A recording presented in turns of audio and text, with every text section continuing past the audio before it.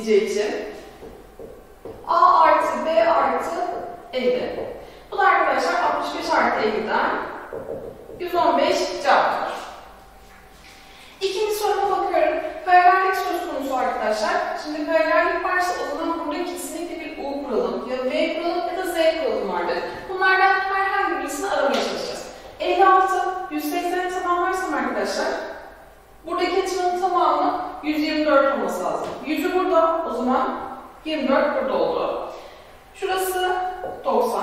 İki iç açının toplamı, şuradaki üçgen için bakıyorum. Bir dış açı eşit olduğu için arkadaşlar alfa dediğim 90 artı 24 eşit olur. 114 cevabım olacak. Şimdi gelelim üçüncü soruya. Şimdi arkadaşlar burada baktığımız zaman paralellik olduğu için dediğim gibi Z, U ve V kuralını aramaya çalışacağız. Mavi çizdiğim yerde bir Z kuralı, kırmızı ile çizdiğim yerde arkadaşlar bir U kuralı var. O zaman ilk önce Z kuralını yazalım. Z'deki açı neydi arkadaşlar? İçerideki açımız 75 ise dışarı çıkan açımız 75 olacak. O zaman buradaki açım 55 oldu. U'dayım artık. 180 tamamlayacağım. O zaman burası 125 olur. Dördüncü soruma bakıyorum arkadaşlar. AB doğrusuyla EF doğrusu birbirine paralel verilmiş. O zaman bu paralelliği doğrusal bir şekilde uzatıyorum. Dikkat edin arkadaşlar, 65 ile aynı yere bakan açımız var. O zaman buradaki açım 65.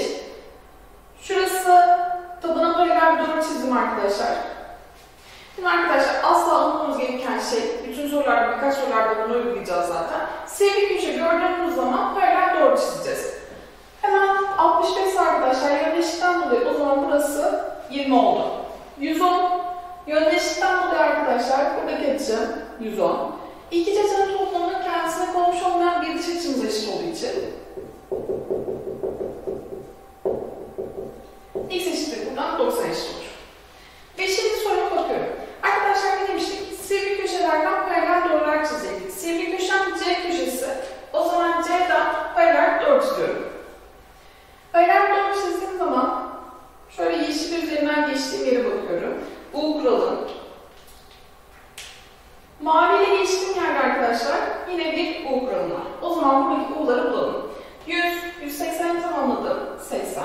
150, 180 tamamladık. 30.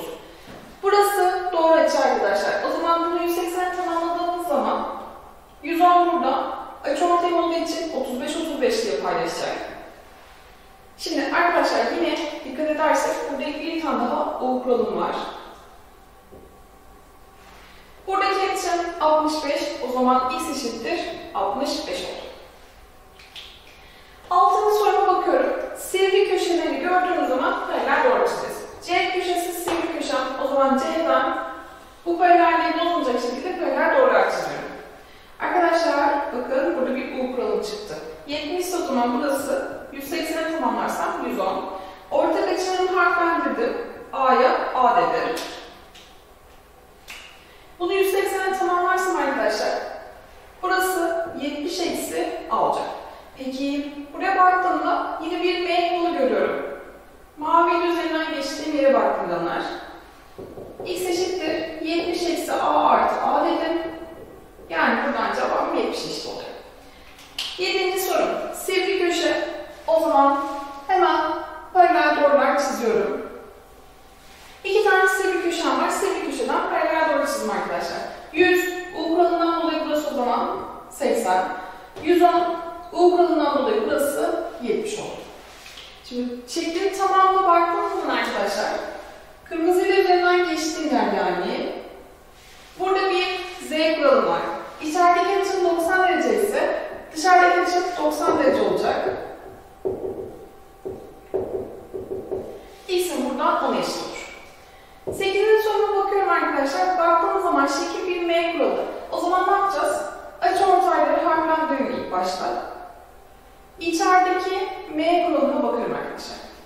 M kuralı dediğimiz şey aynı yana bakan açılarla farklı yana bakan açıların toplamı birbirine eşitti. Yani A artı B dediğim 30'a eşit. E, şekle baktığınız zaman arkadaşlar dışarıda bir M kuralım var. Yani 2A artı 2B X eşit. Artı B 30 bulmuştuk. X dediğim o zaman arkadaşlar bunun iki katına eşit olacak. 60 cevap olur. Dokuzuncu soruma bakıyorum. AB doğrusu DC doğrusuna paralel. Paralel olduğu için şimdi şurada arkadaşlar bunu 180 tamamladım 40. Mavinin üzerinden geçtiği yere baktığımız zaman bir e, Z kuralım var. O zaman burası 40 oldu. Açı ortaya yerleştireyim. 70, 70. Şimdi yine bir paralellik söz konusu. Kırmızı üzerinden geçtiği yere bakıyorum. Buradaki açım 70 ise o zaman buradaki açım arkadaşlar 35-35 diye paylaşacak. Açı olduğu için. 35 Z kuralından dolayı aldaki açım 35 oldu. Arkadaşlar doğru açıya tamamlayacağız. Buradan 145 cevabımız olur. 10. soruma bakıyorum. Sivri köşelerimi gördüğüm zaman arkadaşlar ne yapacaktık? Paralel doğrular çizecektik. O zaman C köşesinden hemen AB'yi paralel olacak şekilde çiziyorum arkadaşlar. 130 o zaman buradaki açı 50. 130'u tamamladım arkadaşlar. Buradaki açım 80. Yine dikkat edersek orada bir sivri köşemiz daha var. Yani D köşesi. 80 ise arkadaşlar buradaki açım toplamda 180 olmasını istiyorum. O yüzden 30 oldu. Zikzakladığım doğrularına baktığım zaman arkadaşlar burada bir paralel söz konusu ve yine U kuralım var. O zaman x eşittir buradan 150 olur. 11. sorumuza zaman arkadaşlar D1 ile D2'nin paralel olduğunu söylemiş size. AC doğrusu bir de DE doğrusuna paralel verilmiş. Yani o zaman burada bir Z kuralım var. Şuradaki açıma A dersem D'deki açım A olacak. Açı ortaylarını harflendiriyorum şimdi.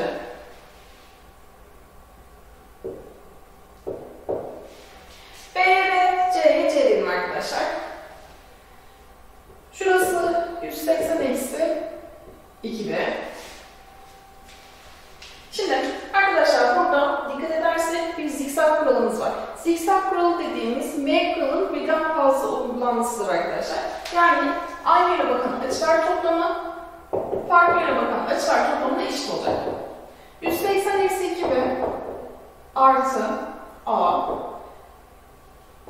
180 eksi pardon 2C artı A eşit. A'lar zaten bilgilerini götürecek.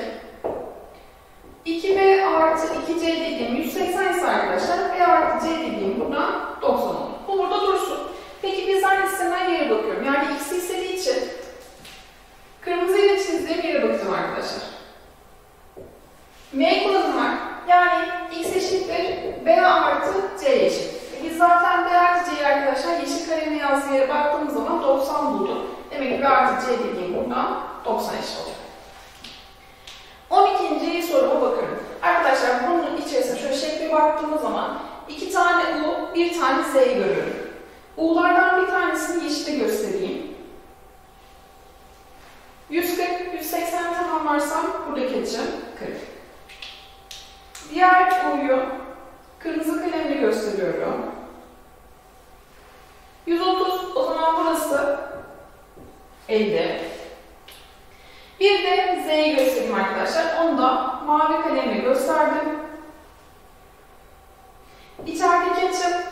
Dışarıdaki çıkımda 55 olması lazım. X artı 40 dediğim 55 ise arkadaşlar X eşittir. Buradan 15 olur. 13. sorumuza bakıyoruz. Şimdi arkadaşlar paralellik söz konusu. O zaman ne yapmamız lazım? Hemen şunu doğrusal bir şekilde çizmem gerekiyor. Çizdiğim zaman bir paralelliğim söz konusu. 120 ise burada o zaman şuranın açının tamamı 60 olacak. Açı ortay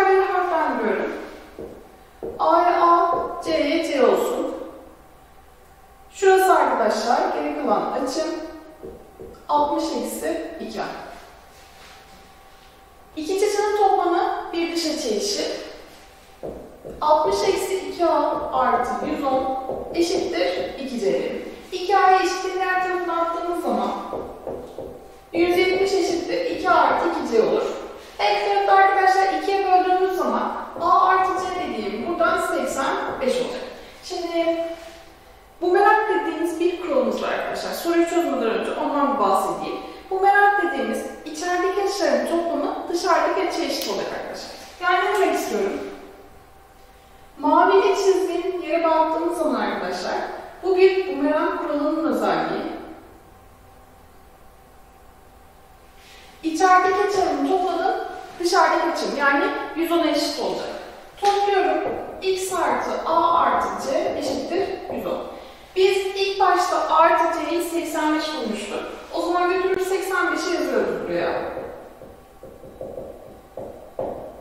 x eşittir buradan arkadaşlar 25 eşit olur. 14. soruma bakıyorum. Şimdi arkadaşlar sivri köşeyi gördüğümüz zaman yapmamız gereken şey paralel olarak. O zaman sivri köşemi çizdim. Bir tane U kuralı görüyorum, bir tane de M kuralı görüyorum. U dediğim arkadaşlar yeşil üzerinden geçtim yani. 140, 180 tamamladı. 40. M dediğimi de kırmızı kalemle göstereyim arkadaşlar.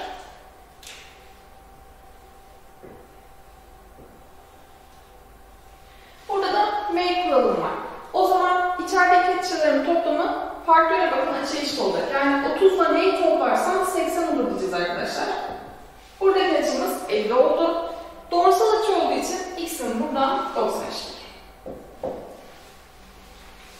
Evet, gelelim son sorumuza arkadaşlar. Bir açının, e, bir iç açının tümleriyle bütünlerin oranı 1 bölü 3'müş. Bu tarz sorular genelde soru bankalarında karşımıza çıkıyor. Nasıl yorum yapacağız diye yazmak istedim. Şimdi arkadaşlar, açıya x diyorum. Tümler dediğim 90'ı tamamlayan açılarımızdır arkadaşlar. O zaman tümleyini 90 eksi x'e eşit. Bütün yerlerimizi 180'e tamamladığımız açılar arkadaşlar.